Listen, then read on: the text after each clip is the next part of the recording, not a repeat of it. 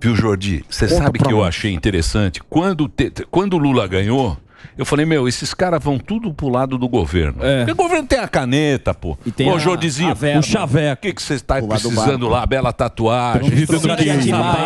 Porra, você sabe. Belo bronze. Biúna. Bronze Eu do falei, porra, esses caras esses cara vão tudo se baldear lá pro lado do Barba. E não é que os caras, a oposição tá firme, cara?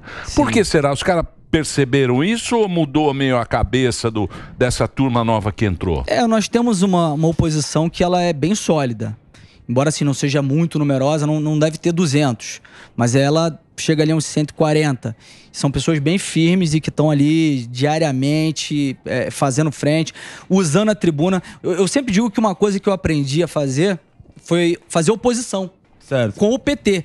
Porque nesses quatro anos eh, a gente via como eles atrapalhavam, eh, tanto na questão de subir na tribuna e, e criar narrativa. Nós fazemos essas reuniões de estabelecer o que, quais serão as narrativas, embora narra- narrativa não ah, no, no sentido pejorativo, mas pegando os podres do governo e, e destacando para poder estar fazendo desgaste e alertando também a população. Então nós temos uma oposição que é bem sólida, faz esse trabalho, mas tem muitos deputados ali de centro que têm dificuldade de ir para a base do governo Lula.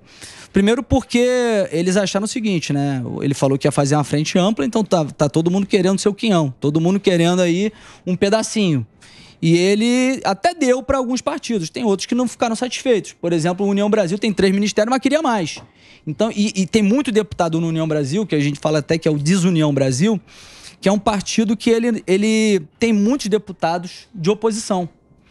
Então não, acaba que esses partidos de centro eles não conseguem é, de fato sinalizar que são base do governo. Eles vão Uhum. votar de acordo com a orientação ah, do, do presidente Arthur Lira, ou de repente aquela pauta ali que seja é, é, em determinado momento seja favorável para seu nicho eleitoral vai votar, ou também conversando com o governo, como houve na PEC da transição, em que também ele a- a- abriu a, a- a mala preta para poder estar conseguindo os votos favoráveis para furar o teto de gastos. É, ele vai precisar de muito dinheiro aí pra. Sim, quero ver chegar. Pra turma, pra turma virar a bandeira, precisa de muito dinheiro lá em Ah, Ubarba. E não tem. dinheiro.